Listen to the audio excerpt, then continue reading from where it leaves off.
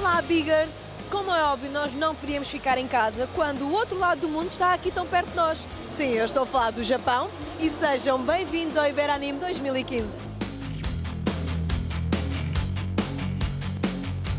E como é óbvio, o Biggs não podia faltar, temos muitas surpresas para ti.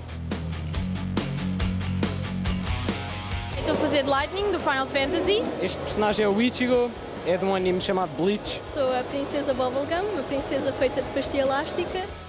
Sim, o que é que tu preferes ver assim na feira? Outros cosplayers, sem dúvida. É um ambiente muito familiar para mim, pessoas gostam do mesmo que eu gosto, é raro encontrar. Achas que há mais adeptos da cultura japonesa? Acho que isto tem vindo a encher sempre mais e mais a cada ano, o que é bom, porque quer dizer que está a ser reconhecido.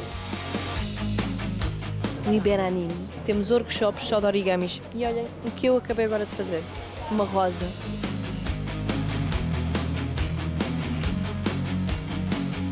Estavas com medo de saltar 4 metros de altura? Foi a adrenalina, foi boa, de saltar lá de cima. Diogo, encontraste a bola. Que sorte! E sabes o que é que isto significa? Prémios.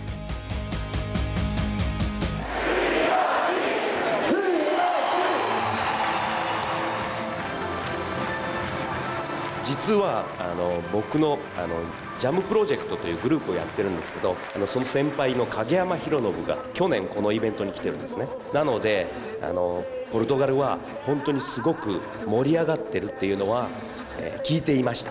ビックスをご覧の皆さんこんにちは。北谷宏です。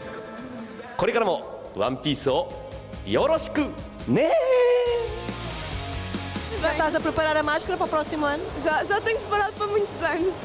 Estás-te a divertir? Bastante, bastante. Bastante, estão a ver? Têm de vir no próximo ano. Venham.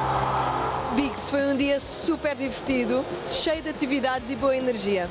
E vocês, o que é que estão à espera? Se ainda não vieram ao Iberanime, têm a oportunidade na próxima edição em 2016. E eu espero por vocês aqui. Sayonara e beijinhos. Kisu!